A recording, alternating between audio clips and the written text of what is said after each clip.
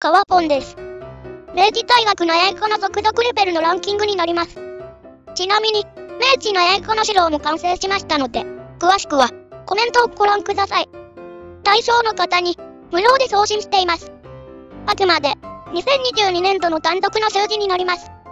年度によって多少異なりますので、参考程度にしてください。数値の算出方法ですが、まず、長文と会話の大まかな相互数を、独自に算出した国宝の時間の分数で割った1句あたりの処理個数に基づくランキングになります。これは問題を解く時間も含めたカウントになります。文章のレベルや設問のレベルは考慮していませんので、純粋な個数と目標時間に基づいた数値になります。さて、1位は文学部の43個となります。総個数は2300個とそこまで多くはないのですが、とにかく制限時間がシビアなところです。